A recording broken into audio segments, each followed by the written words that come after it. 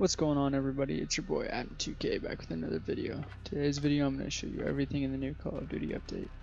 First we got Gunfight Blueprints where you play Gunfight with new blueprints, cranked Gunfight, cranked, you have a timer before you die, you have to kill people in a certain amount of time to earn time in a 3v3 gunfight. Reinfected Ground War where you just, you know, have to do it's ground war but more people start out infected shoot the ship shipment shoot house and the thing I want to show you guys the most is the new skin they added, Obsidian. It's definitely an interesting skin. Um, I don't know, like I like Damascus better, but I'm definitely gonna grind for this. Uh, you get this one for killing 15 enemies in a match 125 times. Pistols is 100 times. Uh, what was it? Uh, Snipers, I think, are 150. Marksman rifles, 125. Check the sniper one for you. There's my AX-50.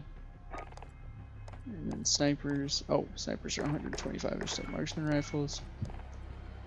Uh, ARs are 150, I believe. Nope, 200. So SMGs are the 150 one. But, uh, no, I don't have that one done. I have this one done.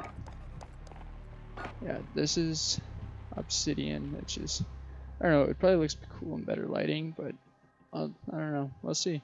Definitely gonna have to grind it out, try and keep you guys updated on how the grind goes. It's definitely gonna be time consuming because you have to get 15 plus kills in a certain amount of matches. But yeah, so far I'm pretty sure this, I only have one with the MP5, but I have four, I think, with the Bizon. But yeah, that's all I got. Uh, I, I, don't know, my take on Obsidian is probably looks a lot better than lighting. Once I get it, I'll show you guys. But yeah, I gotta grind that out. So anyways, if you enjoyed this video, leave a like and feel free to subscribe.